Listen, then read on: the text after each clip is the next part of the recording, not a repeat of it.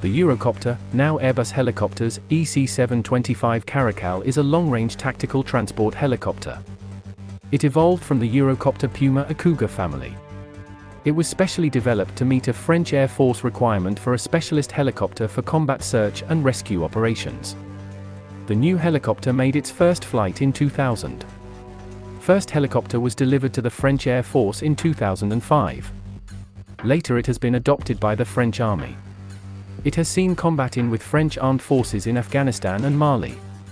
The Caracal has been exported to Brazil, Indonesia, Malaysia, Mexico, and Thailand. Some other countries ordered this helicopter.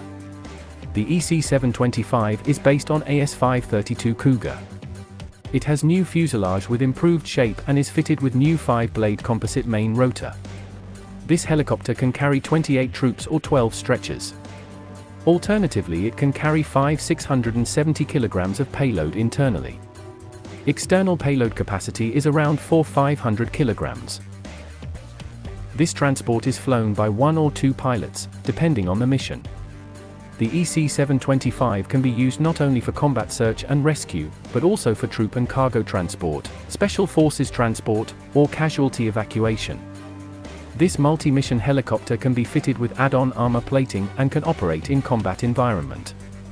Also the Caracal can be armed with window-mounted 7.62mm machine guns. It can be also fitted with side-mounted pods with 68mm rockets.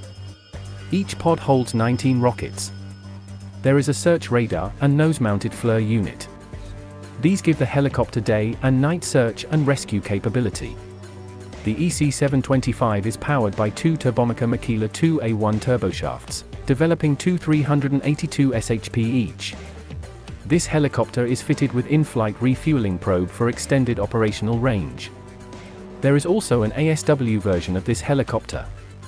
It can be fitted with MU-90 impact aerial launch torpedo.